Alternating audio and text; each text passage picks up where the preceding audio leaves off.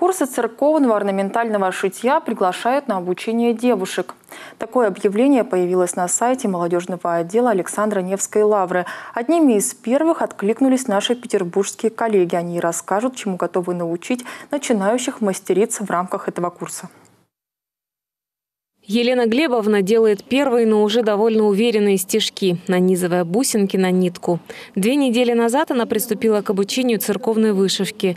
Здесь обрела и наставника, и подруг по интересам. На самом деле очень давно искала подобные курсы, потому что Муж у меня священник, мне пришлось с ним поездить по северным приходам, где не было никакого оборудования, ни украшений, ничего не было.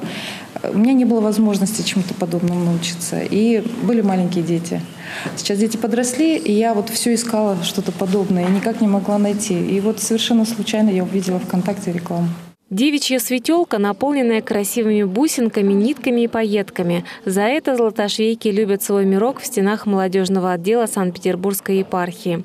Сюда спешат после основной работы и здесь постигают секреты церковной вышивки. Мы изучаем различные техники именно церковного шитья, которые используются, допустим, там, в обиходе церковной жизни. То есть а у нас девочки учатся вышивать э, сначала на подрамниках, потом в конце года есть одна общая какая-то работа. Вот сейчас мы вышиваем хоругви.